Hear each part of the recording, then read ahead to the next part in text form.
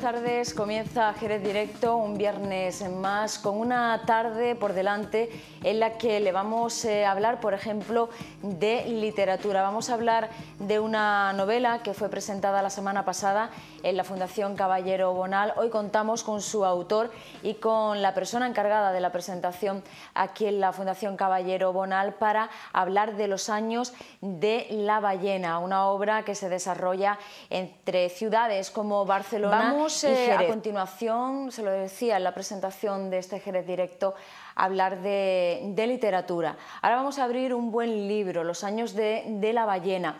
Vamos a marcharnos hasta la Plaza del Arenal también para saludar a Elena. Elena, buenas tardes. Muy buenas tardes, Rocío. Y vamos a tener hoy la posibilidad de hablar tanto con el autor eh, como con el presentador eh, de esta obra aquí en Jerez, en la Fundación Caballero Bonal.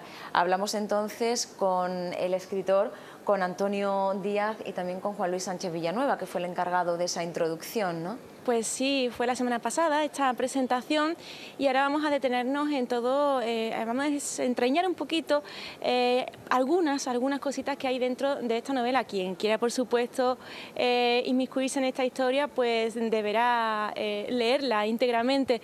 Pero como siempre aquí queremos dar un adelanto.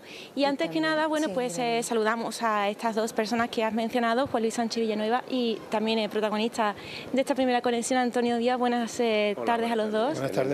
Antes que nada, enhorabuena por esta primera novela que sale, a, sale a la luz. Sí, sí, es la primera novela, aunque tengo otros trabajos colectivos en los que eh, también publicaciones en revistas literarias y eso, pero siempre narrativa breve y o poesía. Novela es la primera. Perfecto. Eh, contaste el otro día con un presentador de lujo, que es Juan Luis Sánchez Villanueva, que además ha tenido mucho que ver en esta novela. Bueno, eh, ha tenido mucho que ver en la, en la prueba del algodón de la novela porque eh, ha tenido mucho trabajo, en realizarla ha tenido mucho trabajo de, investigación y de, y de mm, recabar datos históricos. Eh, y una vez que ya ha, ha, salido al público, ya se ha terminado, la prueba del algodón, como decía antes, era la, la revisión de por parte de, un historiador como Juan Luis Sánchez, eh, que él dirá el resultado final, eh, con el que estoy muy satisfecho, eh, no solo por, su estudio sobre la novela, los datos que aporta, sino por su colaboración, por ejemplo, que esté aquí esta tarde, la del otro día en la presentación, y siempre afable y siempre colaborador. Es una delicia contar con él. Muy bien, pues con tu permiso voy a hablar un poco con él, pero ahora después eh, hablaremos exactamente de esa novela que creo que te la escondes por aquí, pero está, está, está este libro aquí. Eh, Juan Luis, buenas tardes de nuevo. Hola, buenas tardes, Elena. Y cuéntame, Juan Luis, esta presentación eh, fue pues hace muy poquito, ¿no? Sí, sí, verá, eh, fue en diciembre cuando una, cuando una amiga común eh, que había leído la, novela me decía, oye, mira, la novela esta está situada en principio en Barcelona, luego viene aquí a Jerez, San Fernando, Cádiz, y como tú has vivido en Barcelona y eres de Jerez, míratela. Entonces yo le dije que sí, que me la leí, que me la leería bueno, y el caso es que me la leí en dos días, pero además así, claro, ¿eh? no digo que no, no, dos días. Un jueves por la noche me lo dio y un sábado por la noche le dije, Loli, que ya me la he leído y además he tomado muchas notas, tres páginas de, anotaciones y yo no conocía de nada a Antonio y sin embargo me daba la sensación de que lo conocía de toda la vida, porque mm, la situación, por ejemplo, cuando empieza la novela en Barcelona, son en esas carreras de las manifestaciones de la transición, pidiendo libertad, pidiendo amnistía y yo estaba en Barcelona en, aquella, en aquellas eh, eh, manifestaciones, entonces mm, me daba la sensación de que estaba viviendo cuando leía la novela. Y luego, pues ese, ese personaje tan encantador y al mismo tiempo tan, con tantos matices como es Marta, esa señora que tiene 63 años, que cuenta su vida se la va explicando a, una, cinta, de casa, se la va grabando y, tiene unos matices maravillosos esa Marta que te engancha y te hace continuar leyendo. Estamos ahora viendo imágenes, mientras estamos realizando esta entrevista, estamos viendo imágenes de esa presentación.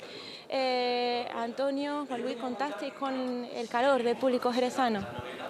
Sí, bueno, ya eh, como muy bien dice Juan Luis Sánchez, eh, contamos con un, con un jugador extra en contra, que fue un, partido muy, muy, eh, para quien le gusta el fútbol, Barcelona, o sea, Atlético Madrid y Real Madrid se enfrentaron esa, esa noche. Y sin embargo eh, hubo una afluencia bastante respetable y y entre otras cosas, eh, después todos nos comentaron que habían disfrutado mucho con la presentación por la cantidad de datos, eh, no solo anecdóticos, sino entrañables, incluso eh, alguna anécdota que contaba Jorge con, aquí se narra algunos hechos de, bueno, todos hechos históricos de, que sucedieron en la provincia de Cádiz, uno de ellos, que lo puede contar él ahora, que emocionó a mucha gente porque tenía relación con incluso su familia. O sea que a través de, hechos que,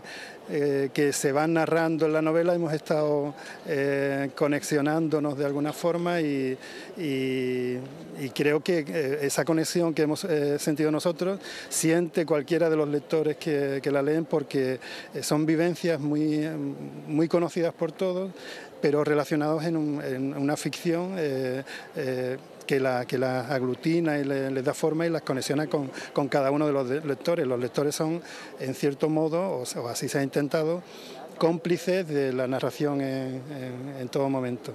Eh, para desvelar un poquito, solamente un poquito de tu novela, diremos que hay eh, dos historias dos personajes muy importantes y también varios enclaves que a nosotros eh, pues nos resultan muy familiares, como son Jerez, Cádiz eh, y, más, y más lugares. Cuéntanos brevemente cómo, cómo empieza esa historia o, el hilo argumental de esa historia y cómo surge también el personaje de Marta, que me interesa muchísimo. Muy bien. Eh, son dos historias que convergen en una al final, pero en principio, en principio son las, historias de Rubén, que es un reportero gráfico de Barcelona, que por circunstancias se queda sin trabajo y tiene que, eh, que darle un sentido a su vida, sin trabajo y sin relación familiar. Eh, ese sentido lo encuentra casualmente con una señora que está jugando a la comba en la calle, en una plaza del casco antiguo de Barcelona, y que en cierto momento nombra una palabra que es masconato. Hay dos personajes en esta novela que no son personajes en sí, sino que son eh, una palabra y un objeto, como es un pozo. Eh, pues a través de esa palabra, Rubén que en cierto momento decide ir en busca de, Marta, termina en las calles de Jerez, San Fernando y Cádiz.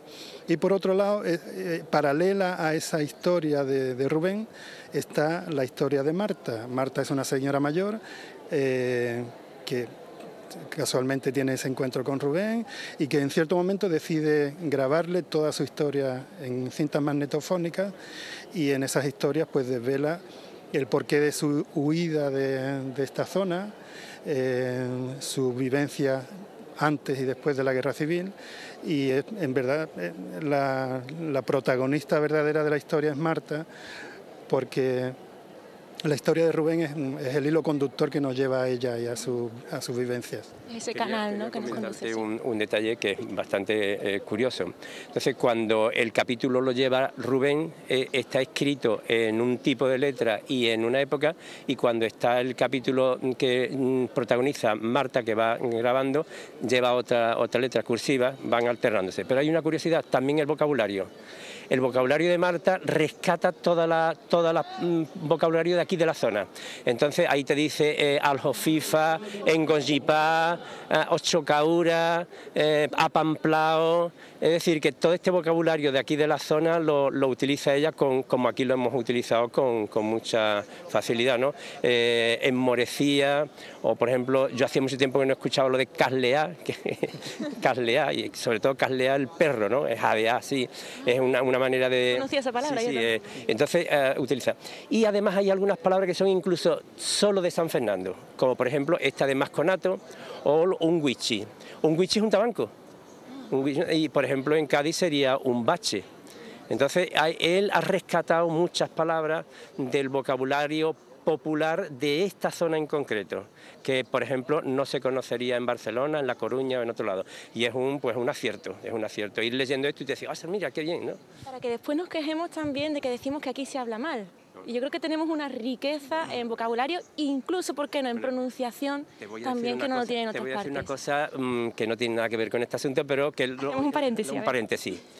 eh, en España, en España hablan gallego, euskera, eh, catalán, y castellano en toda España se habla, mm, perdón, y andaluz, en toda España se habla perfectamente bien el andaluz, excepto de, de Peñaperro para arriba, que se habla un poquillo regular pero se habla andaluz en toda España, que lo sepa la gente. Eso es, pues, pues totalmente de acuerdo contigo, Juan Luis.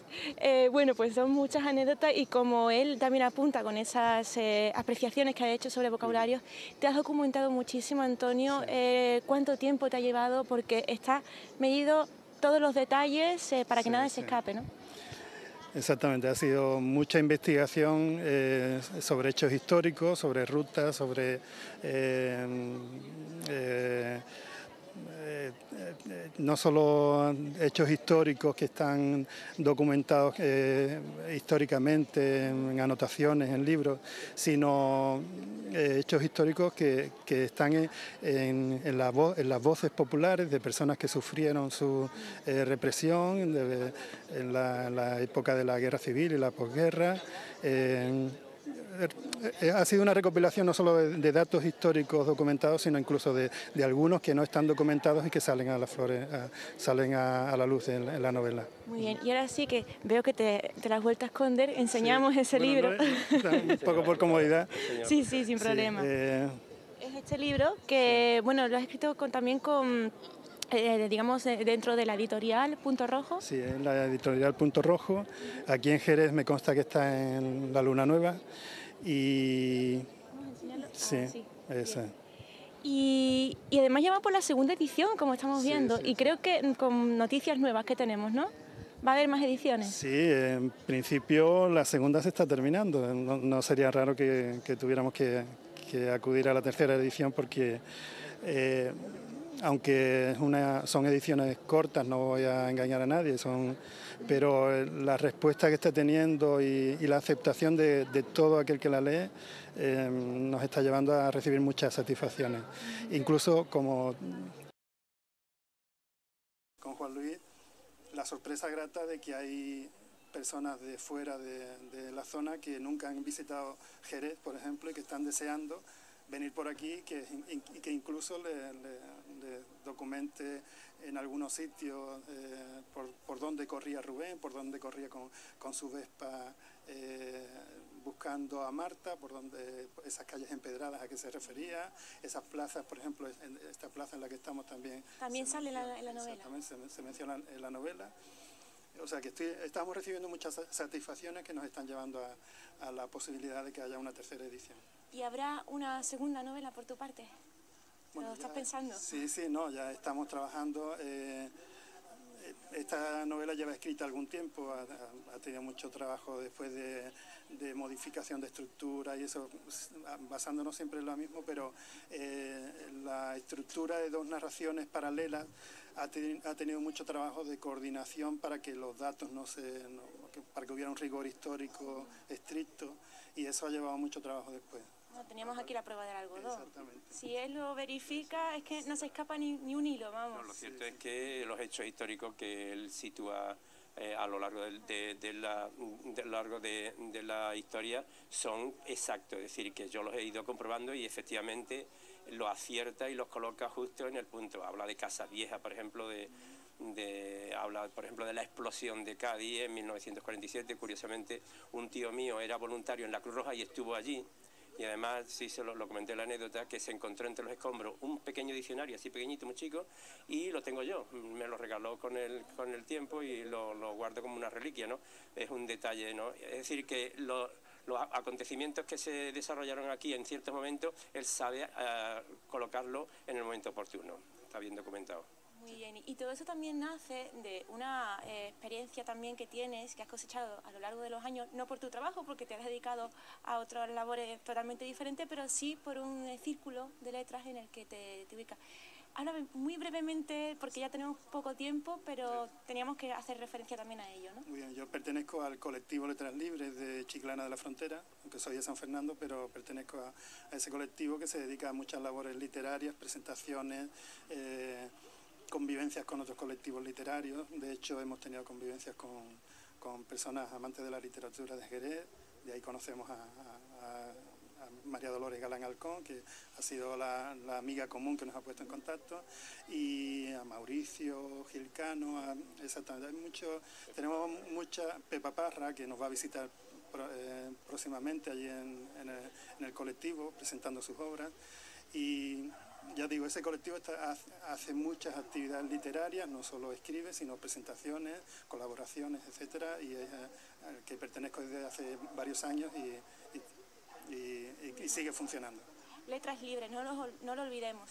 Y ya simplemente para finalizar, eh, también aprovechando que está aquí Juan Luis, eh, ya cambiando totalmente de, asunto, sabemos eh, que la semana que viene vas a comenzar un curso ¿no? dentro del Centro de, Centro de Estudios Históricos. Ay, perdón. Sí, sí, sí, el Centro de Estudios Históricos Jerezanos, este, este curso, pues de nuevo otra vez, se mete en toda su programación, en todas sus actividades. Y comienza, como siempre, con el curso de Historia. Ah, lo, lleva a media con el CEP, el Centro de Profesores, y este es el tercer año. Entonces, mm, bueno, pues da la casualidad que este año inauguro yo ese, ese curso de historia con una conferencia el lunes, que será a las siete y media de la tarde en los claustros de Santo Domingo, y el título es La revista Hasta Regia y la enseñanza.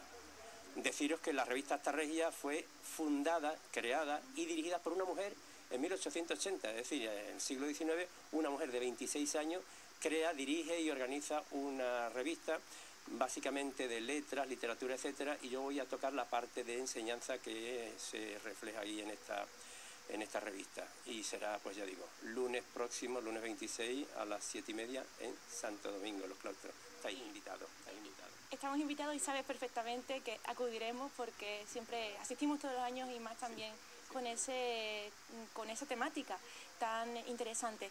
Pues Juan Luis y Antonio, reiteramos eh, sobre todo a ti la, enhorabuena por esta primera publicación, por, bueno, por esta primera novela y que sean muchas más. Muchísimas gracias, Elena. A Rocío también, muchas gracias, muy amable. Y a Juan Luis Sánchez Villanueva por su colaboración en estas presentaciones que tanto juego están dando. Muchas gracias. Perfecto. Bueno, pues Rocío, esto y mucho más tenemos aquí en la Plaza de la Nenal. La tarde continúa con eh, temas muy diversos que estamos ya deseando también traerte. Muy bien, Elena, pues muchísimas gracias y nada, eh, después te, veo. Perfecto. Así que, que hasta ahora. Hasta